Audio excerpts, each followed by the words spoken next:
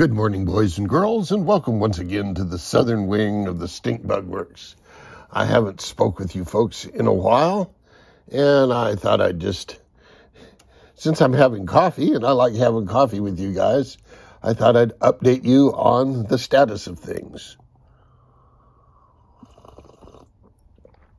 If you remember, some of the parts for this thing went missing in action, and one of them was the exhaust stack I made. Well, I made a new exhaust stack using the same materials and the same techniques. Although I think this one's slightly different than the last one and slightly preferable in what I had hoped the first one was. This is a stainless steel turkey baster, at least part of it. And the other one I used, this one appears to be uh, stainless steel sheet that was pressed into shape.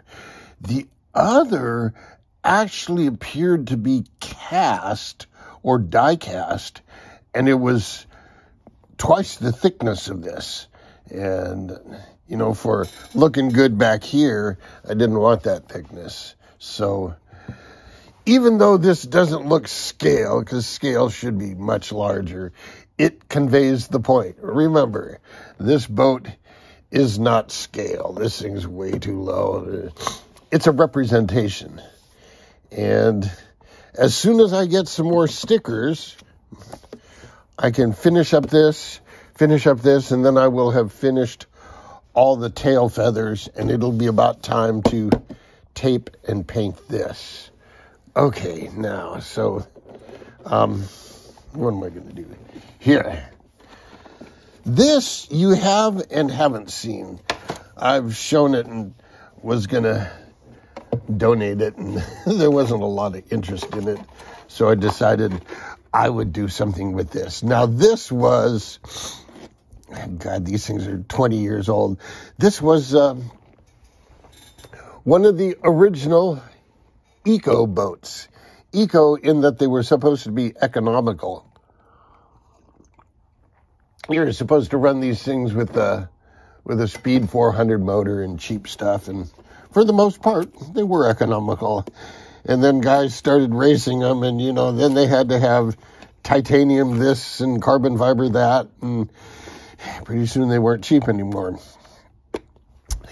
My plan for this guy is to have something I can just take along with me in my truck. And to that end, I've got those little tiny uh, um, uh, lipo chargers that you plug into your cigarette lighter. That's what I'm going to use to power this or charge this thing. And I'll just keep it in my truck. I've ordered one of those little cheap two part transmitters, those little toy transmitters where they come apart so I can keep all of this just in a small thing in my truck. I'm going to power it with this.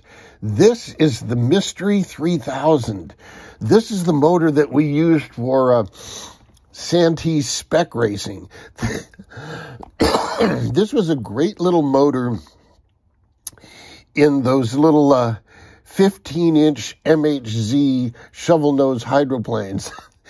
this would literally blow them off the water. They they were really good, and the Gecko, the Gecko ran really good on this because it's a lightweight motor and it's about the performance of a Speed 400. You know, it's 3,000 RPM per volt. So that's my plan for this. Just something quick and cheap. You know, it'll use a straight drive shaft with, uh, you know, a flange motor mount. Boom. Away you go quick and easy rudder servo, boom, boom, away you go.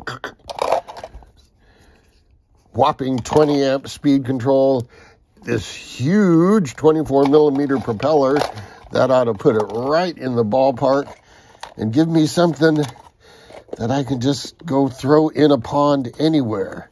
Before they invented flood chambers, this is how they got boats to self right. They were kind of flat here and big and bulbous there. And it didn't like floating this way. It would just, and with that outrunner motor, the torque of that thing will help flip these over. It worked in the geckos. So that's kind of my status. This I'm just waiting for what am I waiting for? I'm waiting for, uh, oh, rudder parts on this thing.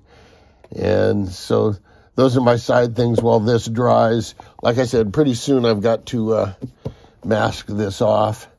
I've got a little red tinge on here I've got to take off. I have a secret way of doing that.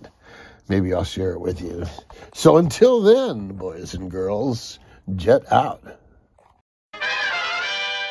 Ladies and gentlemen, boys and girls, I bring you an added bonus to today's video.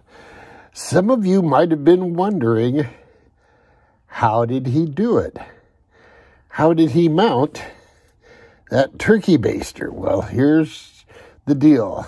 I ground a flat on the turkey baster and using epoxy mixed with milled fiberglass, I made a paste and I glued this onto here.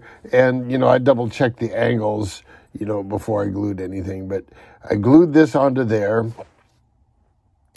Then I slid it in there and marked the holes for the hold down screws and then came in and glued in some nuts using the same fiberglass and epoxy mix, being careful not to get uh, um, epoxy on the threads.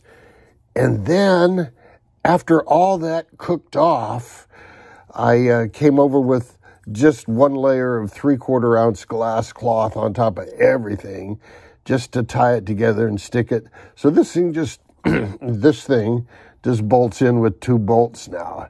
And so uh, I can still get in there and paint what needs to be painted. But that's the deal on the turkey baster.